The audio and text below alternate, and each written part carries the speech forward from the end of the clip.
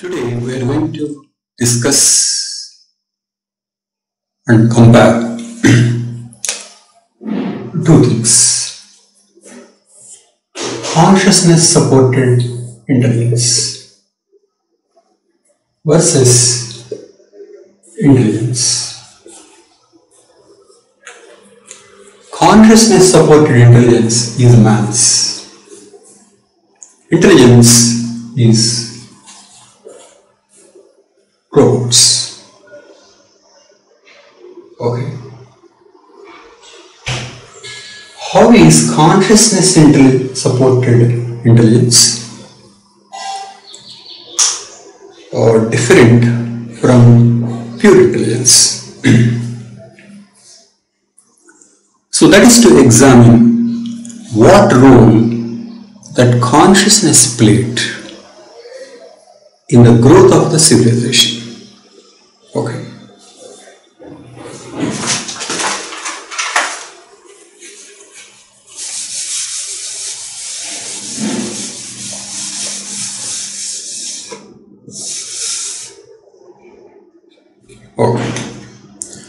Let us look at ape versus man. Ape versus man.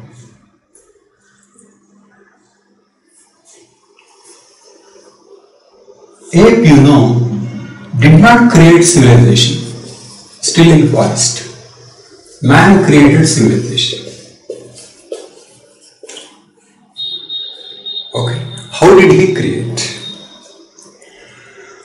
First point we should realize is that man is not superior to ape on a one on a one-on-one basis. No. Ape and man left alone, man doesn't have much an advantage in a forest.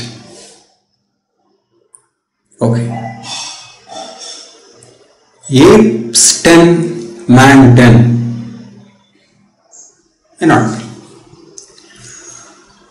So the advantage created by man is that man could form groups,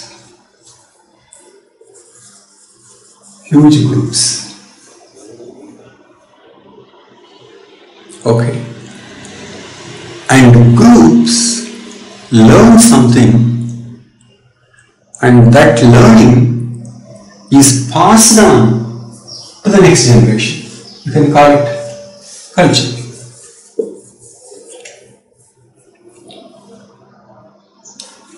tool making passed down agriculture passed down domestication of animals passed down language passed down so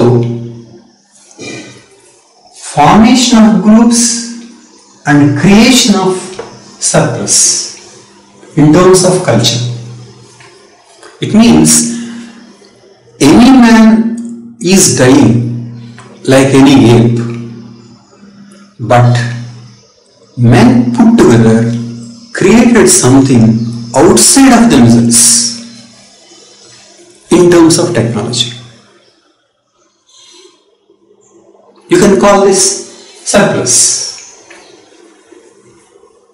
So, tools, literature, domestication, technology, later cities and later industrial revolution all are being created as a group effort and being passed on which means two things group effort next on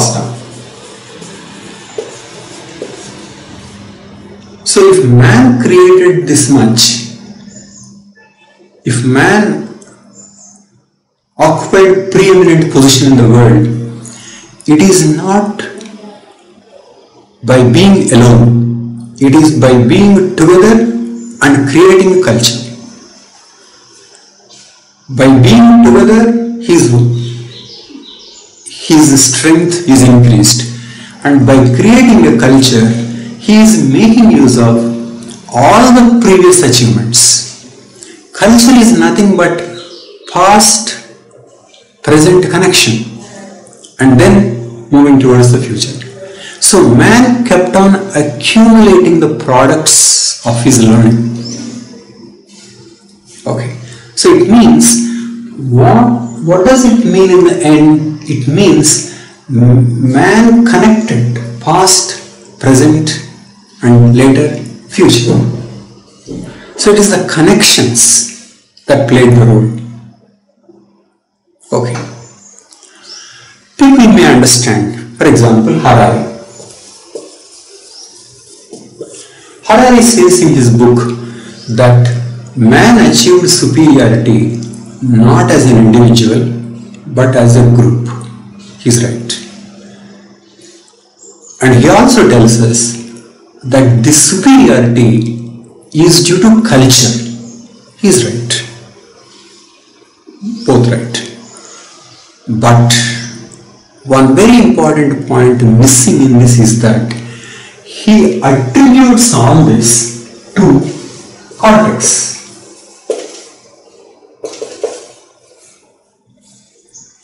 Superior brain, larger brain. So he thinks larger brain made grouping possible. Larger brain made innovation. Okay, he is not wrong, but given the context we are discussing, that is not really an accurate way of looking at things. Why is it so? For cortex to enable grouping, a man should feel oneness with the other. A man feels oneness with the other. How does he feel? This is consciousness. Robots don't feel. So, how could group be possible? Consciousness. Ape has the consciousness but not supported by bigger cortex. And man has bigger cortex plus the consciousness. And robot doesn't have the consciousness. So a robot can never feel my fellow robot. A robot can never say we are being exploited. Let us fight. No. There is no sense of we-ness in a robot because it doesn't have a sense of me-ness. It means whatever man created through culture, the foundation is me-ness, which led to we-ness, which led to culture. This is what I'm, I'm saying. It means consciousness is the foundation of civilization. Consciousness alone could not have, it didn't. But cortex alone could not have because this togetherness is made possible through feelings. Venus came to be possible from Venus and Venus plus cortex created culture, accumulation of progress. All these things would not be possible in the case of a robot. That is the point. Is it clear? Next another thing.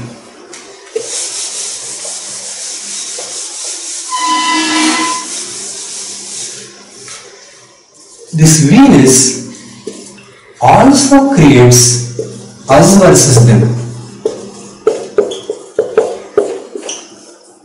Us versus them. I want you to understand. Because, like Venus, Venus is also exclusive. That is the reason why I focused on Venus as being exclusive. Venus is confined to the body. Meanness has to be confining to the body because meanness is a coordination system. If you want to coordinate, then you have to know what to include and what to exclude. So meanness has its essential property and exclusiveness. Do you follow? So consciousness as an as its essential property has exclusiveness. Me-ness does not include other body. Me-ness extended becomes we-ness and that leads to us versus them. This group versus that group. You may ask, how did this contribute to civilization? Because us versus them led to fight. Fight. Those who are following a superior technology or superior social organization won and established superior civilization. In more recent years, colonialism is nothing but spread of superior civilization. Like that, superior culture replaced inferior culture. A superior social organization replaced an inferior one. Mostly, we are not saying that this is this is like that everywhere. It is not like that, but mostly mankind kept on progressing, kept on progressing. Which means, how does survival of the fittest operate here? Survival of the fittest is not simply the strength of an individual, not even strength of a group, but strength of a group along with its past, which is culture. So when one culture displaces the other, the superiority of the entire past is spreading. In a war, the inferior are defeated.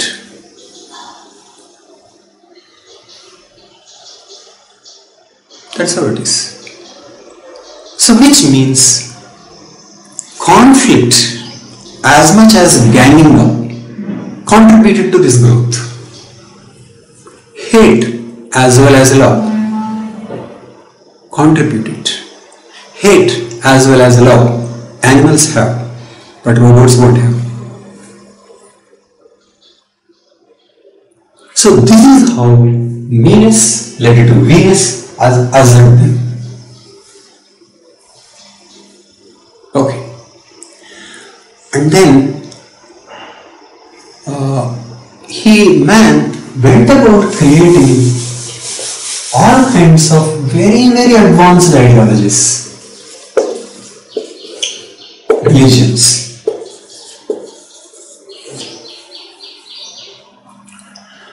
Harari takes them as simply some kind of a fiction which led people to come together, a story. It doesn't seem to be like that. What I want to say is that these are the ways by which people got united. People got united through feelings. And did you notice when more people are united, often feelings are taken care of in a more uh, superior way, in a superior way, in a better way. Isn't it so? Take, okay, I'll make it simpler. Take, for example, gender equality. What is gender equality? Man is dominating woman, woman is feeling pain. So let's create a system where women don't feel the pain. That's what consciousness. Consciousness ultimately is pleasure pain. So what is gender equality? Minimization of pain. What is communalism? Sorry, what is communism? From each according to his capacity to take according to the need. Very, very high ideal. But what is that about? About feelings. What is democracy? Many people are suffering. They should not suffer. It is about feelings.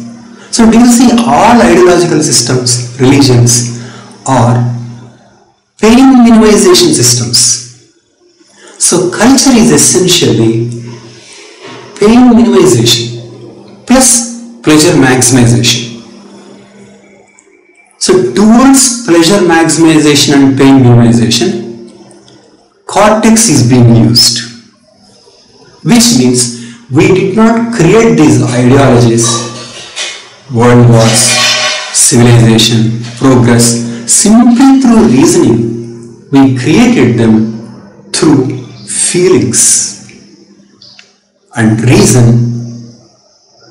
working in favor of those feelings. Feelings being maximization of pleasure and minimization of pain.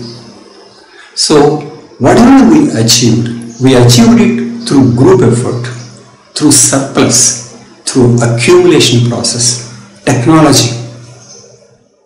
So, the present day man's progress is contributed by a man 10,000 plus years ago who invented domestication.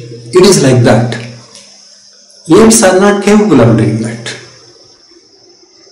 So, we did not achieve all these things through reasoning. We achieved them through unity, through conflict, through groupism, us versus them. Okay, and all these things are made possible through feelings. So, reason in the service of consciousness is what produced this civilization and not reason alone.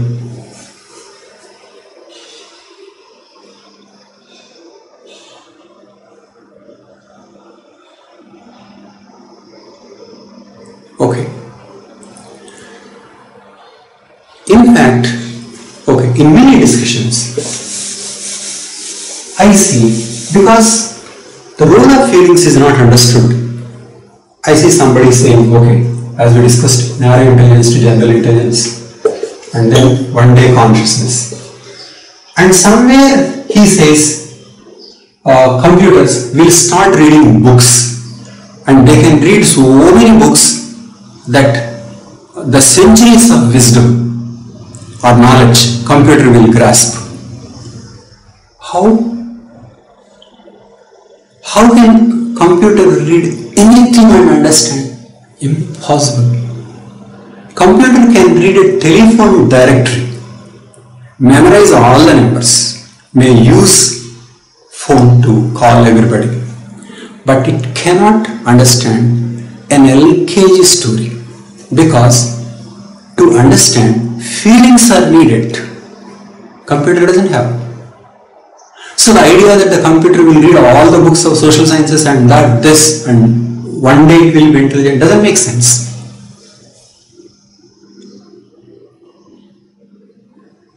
Okay. And also, so so consciousness, so intelligence not backed by consciousness has huge limitations. And also when it comes to decision making, Damasio showed that the way humans make the decision, he says, are not based solely on reason. He says, on reason we explore alternatives. Alternatives. Alternative 1, alternative 2, alternative 3 like this. Through reason, cortex activity. But finally when a choice is made, it is through emotions or feelings. And computer doesn't have the support system. It can generate alternatives, but it does not know how to fix. Humans think they will set certain criteria. Okay. within that criteria, it will function. But how is it different from man working and computer working? So for example, how to reduce hunger? Computer may think, eliminate some people and hunger will be reduced. But man will think, no, that is not what he meant. Which means, in man solving a problem, he will have unlimited number of assumptions in solving a problem. He knows what is not intended, what is not what is intended. In man solving a problem, there are unlimited assumptions. In computer solving a problem, there are limited assumptions and we cannot maneuver which is not an assumption, which is assumed. So, if you think that even small decision making is made on the basis of emotions, you will not think computer can decide the way human beings can decide. In fact, some people are proposing let computers be involved in legal practice. Let computers judge because after all computers won't discriminate on the basis of gender and so on and so whereas man is discriminating. So completely wrong. Computer may not discriminate but computer doesn't have the feelings to find out what the issue is. Okay, so my point is we formed our image on the basis of other animals. So we formed our image on the basis of in comparison. Uh, I mean, we fixed our image to cortex, but that is not true. Cortex working in the service of consciousness is what made this possible. Okay. So now much more intelligent machines are coming. So what should we do is an issue. But before we go into what we should do to uh, handle uh, an artificial intelligence, maybe we need to have a review of what we have done so far regarding technology.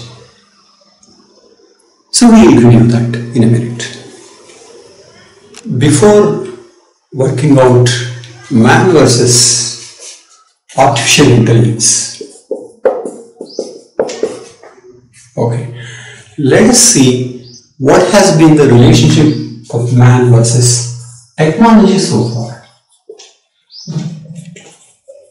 Technology so far.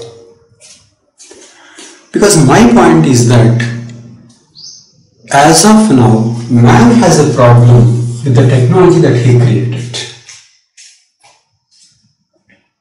And artificial intelligence is only going to somewhat add to the problem and nothing more than that. Okay, what do I mean by this? Take for example, industrial revolution the most important thing. I am giving a judgment. I want you to think about it. I believe that if we really made effective use of industrial revolution and technology, we could have created much, much better societies. If only we knew how to handle pleasure pain I believe we used industrial revolution simply for GDP rise, more luxuries, more production. If we focused on the creation of a different society for the same level of technology, we could have created much better technologies, much better societies. That we look into. That's one. And second thing is that we created certain very very serious problems nuclear threat. Result of industrial civilization. Okay, and next, oceans, climate change.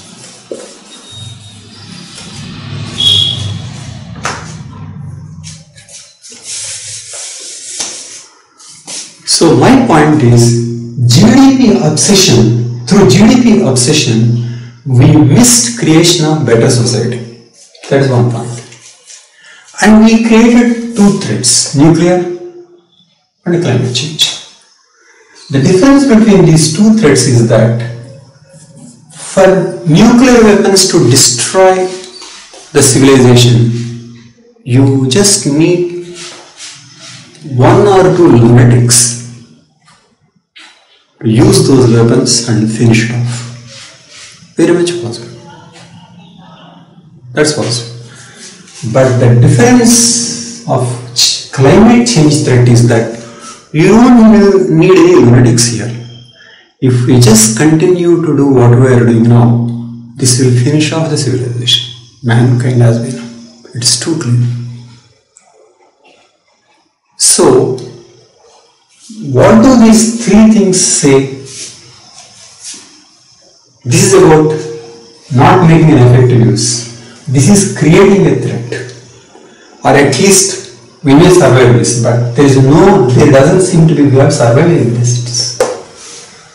So what does all this mean? It means we are creating technology, but we are not sufficiently wise to make use of the technology.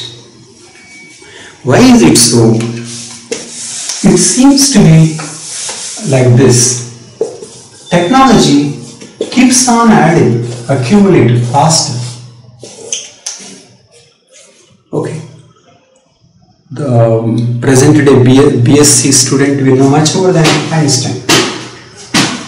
Anyway, technology keeps growing, whereas wisdom grows but grows very little.